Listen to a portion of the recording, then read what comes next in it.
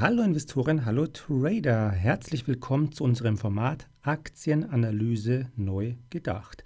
Heute geht es um die 100 besten Aktien der Welt und um eine Pharmaaktie, die sich aktuell auf Platz 1 befindet.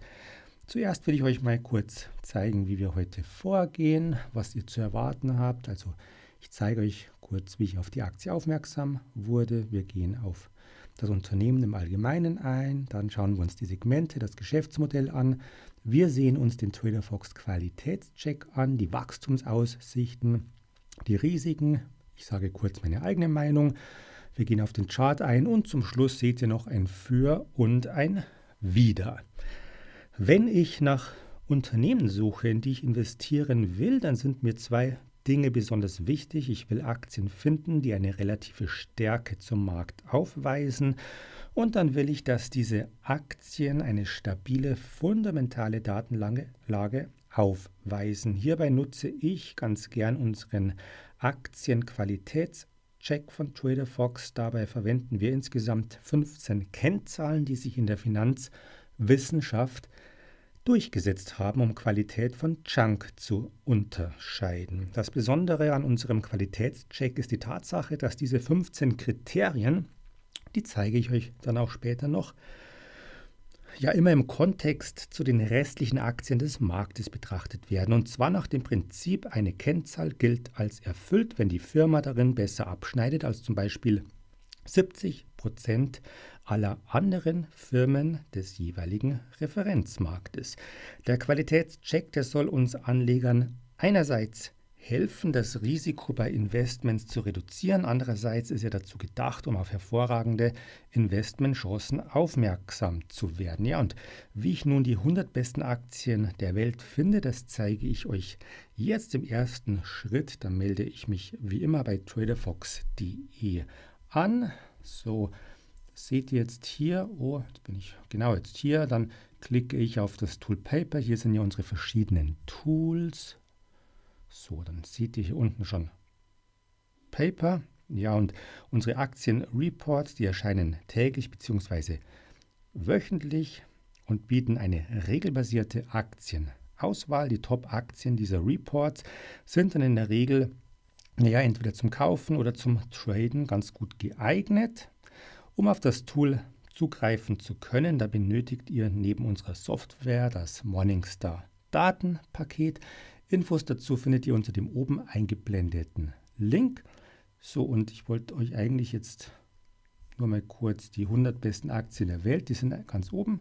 Ich mache es mal auf, dann seht ihr, welche Aktien aktuell so in Frage kommen. So, auf Platz 1 Vertex, Platz 2 Palti, Hawkins.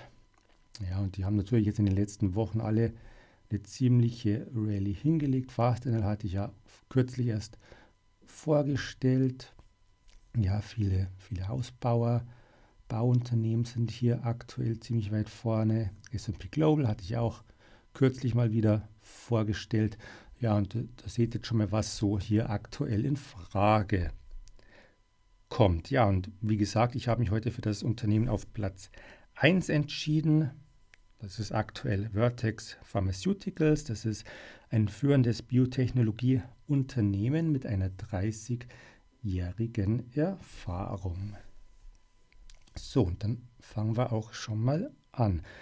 Ja, wie gesagt, es ist ein global aufgestelltes Biotech-Unternehmen, das sich der Entdeckung und der Entwicklung kleinmolekularer Arzneimittel zur Behandlung von schweren Erkrankungen verschrieben hat. Die Strategie des Unternehmens, die besteht aus der Vermarktung seiner Produkte sowohl unabhängig als auch gemeinsam mit führenden Pharmakonzernen. Die Produktpipeline von Vertex, die ist hauptsächlich auf Virusinfektionen, Entzündungen, Autoimmunerkrankungen und Krebs ausgerichtet. Vertex vermarktet beispielsweise Trikafta, seht ihr hier ganz oben, zur Therapie von Mukoviszidose. Das ist eine angeborene Stoffwechselerkrankung. Die Aktie, die fällt in den Healthcare-Sektor und ist der Branche Biotechnologie zuzuordnen. Die Marktkapitalisierung, die beträgt 104 Milliarden US-Dollar. Ja, das ist dann also schon ein großes Unternehmen, zählt damit zu den Big Caps. Das Geschäftsmodell von Vertex, das basiert auf der Forschung und der Entwicklung von Therapien zur Behandlung von seltenen Erbkrankheiten. Vertex arbeitet sehr eng mit patientenführenden Wissenschaftlern und ja auch medizinischem Personal zusammen, um bahnbrechende Therapien zu entwickeln. Von der Forschung und Entwicklung bis hin zur Produktion und Vermarktung von Produkten führt das Unternehmen alle Schritte in Eigenverantwortung durch. Ja, und das ermöglicht es dem Unternehmen, die Kontrolle über den gesamten Entwicklungs- und Produktionsprozess zu behalten, um sicherzustellen, dass Produkte von höchster Qualität hergestellt werden können. Um die bestehenden Aktivitäten bestmöglich zu organisieren, ist das Unternehmen in verschiedene Sparten unterteilt. Dabei konzentriert sich die Forschungseinrichtung in Paris auf die Entwicklung von Therapien zur Behandlung von Mukoviszidose. Im Englischen heißt es Cystic Fibrosis oder abgekürzt CF. Ja, und anderen selten, seltenen Erbkrankheiten. Die Einrichtung in San Diego in den USA ist auf die Entwicklung von Behandlungen für Krebs spezialisiert. Ja, und dann gibt es noch ähm, Forschungseinrichtungen in Großbritannien und Kanada. Der Gesamtumsatz der belief sich im Jahr 2022 auf 8,9 Milliarden US-Dollar und verteilt sich aktuell auf vier Produkte. Der größte Umsatz der wurde im Jahr 2022, ihr seht es hier, mit 7,68 Milliarden US-Dollar mit Trikafta erzielt. Dabei handelt es sich um ein revolutionäres Medikament, das 2019 zugelassen wurde und den Zustand der Patienten, die an der Stoffwechselerkrankung Mukoviszidose leiden, maßgeblich verbessern kann. Patienten müssen mit jährlichen Kosten von gut 300.000 US-Dollar rechnen, also das ist wirklich sehr, sehr viel. Ja, und es ist klar, dass das für die meisten natürlich nur dann leistbar ist, wird, wenn die Kosten entweder von Krankenversicherungen oder der Regierung übernommen werden. Schätzungen gehen davon aus, dass lediglich 12 Prozent der 162.000 weltweit Betroffenen das Medikament erhalten. Mehr als 60 Prozent der Umsätze werden aktuell in den USA erzielt. Ein Drittel der Umsätze entfällt auf Europa. Dabei hat sich Vertex einen sehr starken Burggraben mit Trikafsa geschaffen. Warum? Denn das Patent, das es bis 2037 geschützt und bislang gibt es kein anderes Unternehmen, das über eine wirksame Mukoviszidose-Therapie verfügt. So, gehen wir mal auf den TraderFox Qualitätscheck ein. Und ja, und ihr seht, das Unternehmen bekommt die volle Punktzahl, 15 von 15 Punkten. Dabei wird sowohl auf das Wachstum, die Profitabilität, die Volatilität und die Bilanz geachtet. Im Falle von Vertex, da sehen wir, dass das Umsatz- und das EPS-Wachstum über die letzten fünf Jahre äußerst stabil war. Das Unternehmen, das wirtschaftet gleichzeitig hoch rentabel und die Nettogewinnmarge, die liegt bei starken 37 Prozent. Das Unternehmen, das weist keinerlei Nettoverschuldung auf und die Bilanz, ja, die ist einwandfrei. Bemängeln könnte man nun lediglich die Bewertung. Mit einem KUV von 11 und einem KGV von 30 ist die Aktie im Vergleich zur Peer Group etwas teurer bewertet. Das KGV der Peer Group, das liegt bei 29 und das KUV bei 4. Allerdings würde mich persönlich die hohe Bewertung nicht wirklich abschrecken, solange die Wachstumsaussichten intakt sind. Wie ihr hier in der Abbildung sehen könnten, aus 1000 US-Dollar im Jahr 1991 war das genau.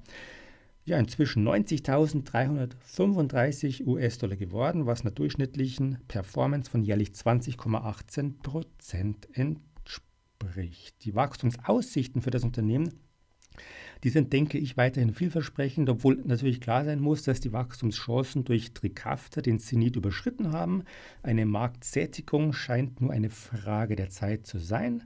Ja, in diesem Fall werden dann die Medikamente zwar weiterhin hohe Einnahmen bescheren, jedoch würden neue Produkte da benötigt werden, um für Wachstum zu sorgen. Die Verlangsamung der Wachstums- Dynamik, die hat sich bereits deutlich in den Fundamentaldaten offenbart. Im Fünfjahresdurchschnitt ist das Unternehmen um 29 Prozent gewachsen. Ja, und für das laufende Jahr 2023 rechnet Vertex mit einem Umsatz von oder mit einem Umsatzwachstum, besser gesagt, von knapp 10 Prozent auf 9,85 Milliarden US-Dollar. Ja, dennoch gibt es Zulassungserweiterungen für Trikafta. Erst am 23. November, also noch gar nicht lange her, erteilte die die Europäische Kommission die Freigabe für Trikafta in Kombination mit Kalideco für die Behandlung von Kindern zwischen zwei bis fünf Jahren mit zystischer Fibrose. Und zuvor wurde Trikafta im letzten Quartal bereits für diese entsprechende Anwendungsgruppe in den USA freigegeben. Äußerst vielversprechend ist daneben die Kooperation mit CRISPR Therapeutics zur Behandlung von Sichelzellen Anämie und transfusionsabhängiger Beta-Thalassämie. Bei beiden, da handelt es sich um erblich bedingte Krankheiten, wobei sich hier alles um den Wirkstoff Casgegi als innovative genomeditierte CRISPR bzw. Cas9-Zelltherapie dreht.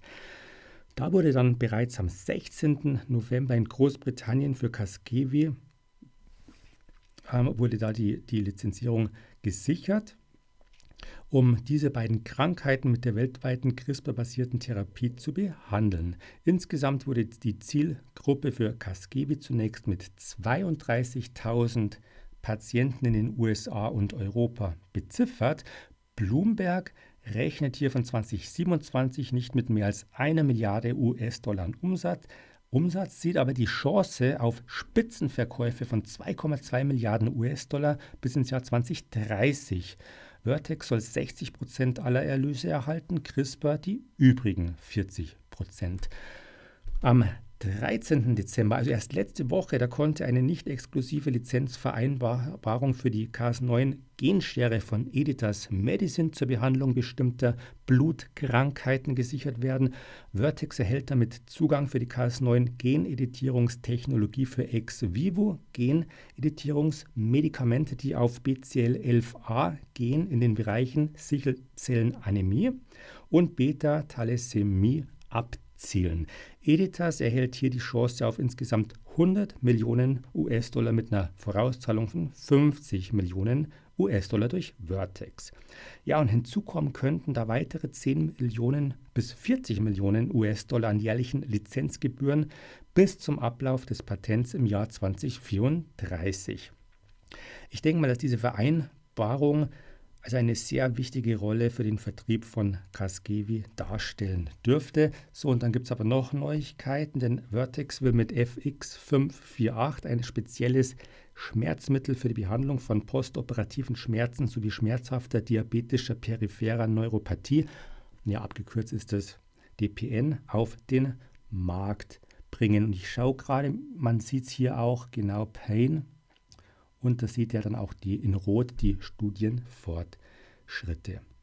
Ein spezieller Wirkungsmechanismus soll im Gegensatz zu bereits weit verbreitenden Opioiden nicht abhängig machen. Das ist natürlich sehr wichtig, indem ein oraler selektiver NAV 1.8 Inhibitor, der die Schmerzsignalisierung im peripheren Nervensystem blockiert, eben da angedockt wird. Laut dem Management können hier dringend benötigte neue Behandlungsmöglichkeiten für viele Millionen von Patienten angeboten werden.